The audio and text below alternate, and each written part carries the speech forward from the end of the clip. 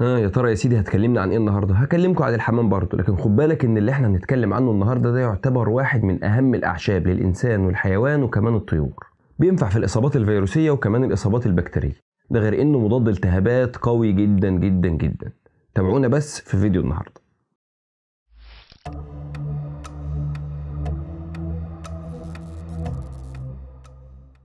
بسم الله الرحمن الرحيم متابعينا الكرام أهلا بيكم. يا ترى إيه العشبه اللي إحنا اتكلمنا عنها في المقدمة دي؟ إيه هو اللي بينفع مضاد التهابات ومضاد فيروسات وكمان مضاد بكتيريا؟ وبيستخدم للإنسان والحيوان وكمان الطيور. اللي إحنا بنتكلم عنه النهارده ده هو الكركم. والكركم يا سيدي الفاضل نبات معمر من الفصيلة الزنجبيلية. وخلينا كده على طول ندخل في السخن ونقول لك فوائد الكركم إيه بالنسبة للإنسان اللي هتشمل برضه الحيوان وكمان الطيور. الكركم مضاد التهابات قوي جدا لاحتوائه على مجموعة من مضادات الأكسدة ومضادات الفيروسات والجراثيم وكمان الفطريات. لذلك غالبا ما ينصح باستعماله في علاج التهابات المفاصل والصدفية والربو ونزلات البرد وكمان الإنفلونزا.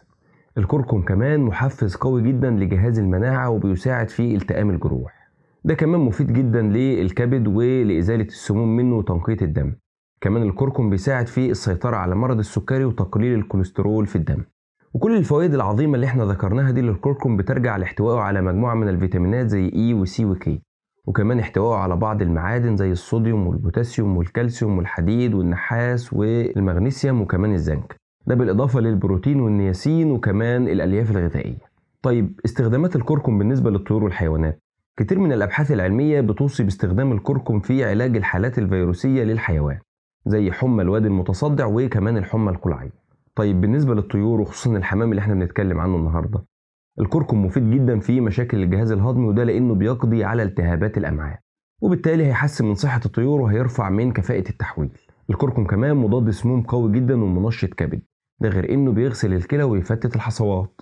كمان بينقي الدم وبينشط الدورة الدموية وبالتالي بيساعد في عملية الإخصاب ومفيد جدا في نزلات البرد والإسهال المزمن بالإضافة إنه بيساعد في التئام الجروح. أنا أقدر كمان أستعمل الكركم في حالة الإناث اللي تكون عندها بعض الدهون وأدى ذلك إلى انقطاعها عن البيض. الكركم كمان بيستعمل كعلاج مهم جدا في حالات ال canker والجدري. طيب أنا هستعمل الكركم إزاي بالنسبة للطيور؟ هستعمله إما على المية وإما على العلف أو الكلفة. ولو هستعمله على المية بيستعمل بمعدل 1 جرام لكل لتر من الماء لمدة 5 أيام متتالية. طيب لو هستعمله على العلف أو الكلفة بيتم وضعه بمعدل من 1 إلى 3 جرام لكل كيلو جرام من العلف أو الكلفة. وزي ما شرحنا في فيديو سابق إحنا بنستخدمه في خلطة التعفير اللي إحنا بنستخدمها مع كلفة الحمام.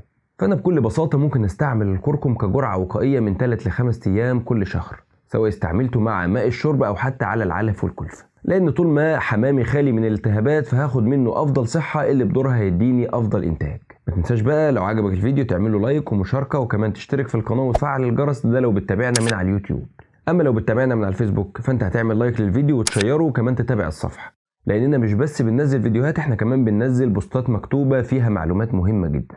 وكالعادة في نهاية كل فيديو بنشكر كل متابعينا الكرام على حسن الاستماع والمتابعة. واستنونا إن شاء الله في فيديوهات تانية كتير والسلام عليكم ورحمة الله وبركاته.